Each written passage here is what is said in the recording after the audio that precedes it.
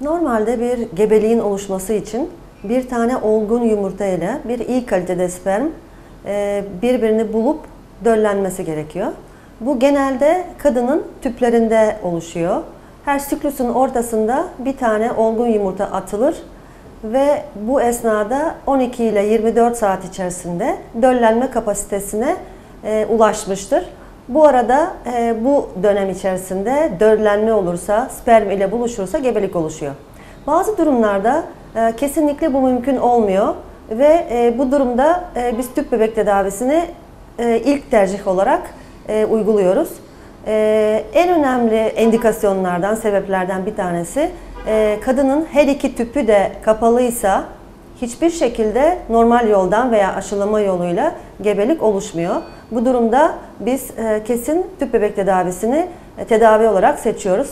Ayrıca e, erkeğin sperm sayısında çok sperm sayısı çok düşük ise veya bazı durumlarda sıfır sperm gibi durum uygulanıyorsa bu durumda da yine tüp bebek tedavisi uygun oluyor.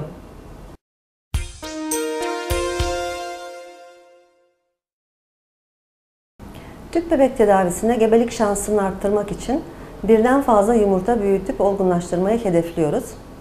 E, Bunun için siklusun 3. gününde hastanın durumuna göre, kilosuna göre, yaşına göre, yumurta rezervine göre, yapılan bir takım hormonal testlere göre ilaçların dozlarını ayarlıyoruz ve tedaviye başlıyoruz.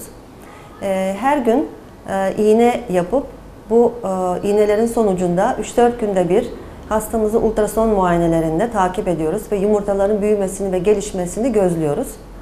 E, bu esnada e, daha önceki e, tedavilere verilen yanıta göre e, zaman zaman e, yumurtalığın cevabına göre dozların e, azaltmasını ve veya çoğaltmasını uygun bulabiliyoruz.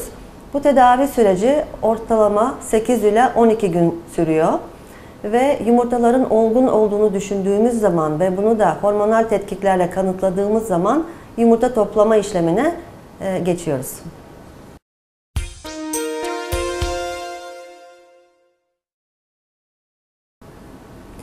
Yumurta indüksiyonundan sonra yumurtaların olgun hale geldiğini düşündüğümüz zaman e, biz yumurta toplama işlemine geçiş yapıyoruz.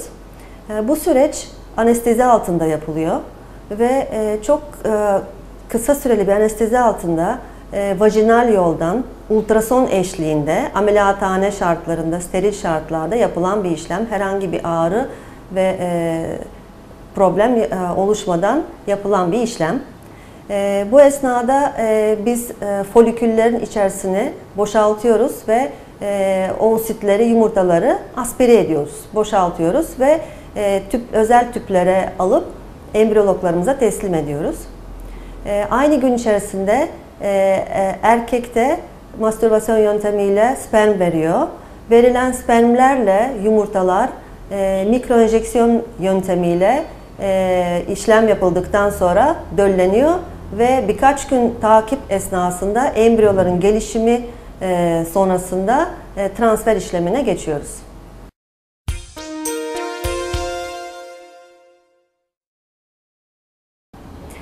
Embriyo transferi e, oluşan embriyoların rahim içine yerleşmesidir.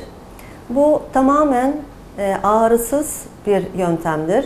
Herhangi bir anestezi almaya gerek kalmıyor. E, bugün e, aynı gün içerisinde transfer gününde e, biz bu işlemi ultrason eşliğinde yaptığımız için e, hastamızın idrar e, kesesi, mesanesi dolu olması gerekiyor ve aynı anda ultrason eşliğinde e, biz oluşan embriyoları çok e, zarif bir şekilde bir kateterle birlikte rahim içine transfer ediyoruz. E, bu transfer işleminden sonra e, 12 gün bekleme süresi e, takip ediyor ve bu süre sonrasında 12 gün sonra kanda gebelik testi yaparak e, gebelik oluştu mu diye kontrol ediyoruz.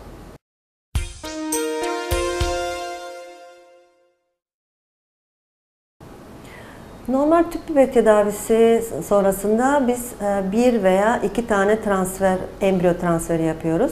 35 yaş altında bir tane embriyo, 35 yaş üstü iki tane embriyo transfer etme hakkımız var. Oluşan e, fazlaca embriyo, iyi kalitede embriyomuz varsa biz bunları donduruyoruz, başka bir deneme için saklıyoruz. E, Bu esnada eğer ki gebelik oluşmaz ise veya hastamız gebe kaldı, doğurdu, tekrar çocuk istiyorsa bu donmuş embriyolarımızı kullanabiliyoruz.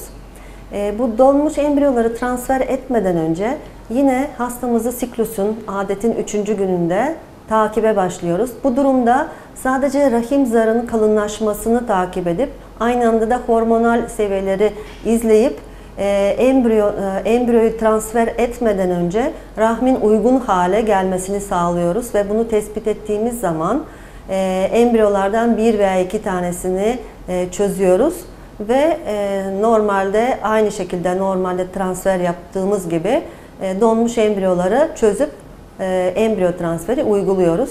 E, bu durumda da gebelik şansımız en az taze siklus kadar e, başarı başarılı olduğunu gözlüyoruz.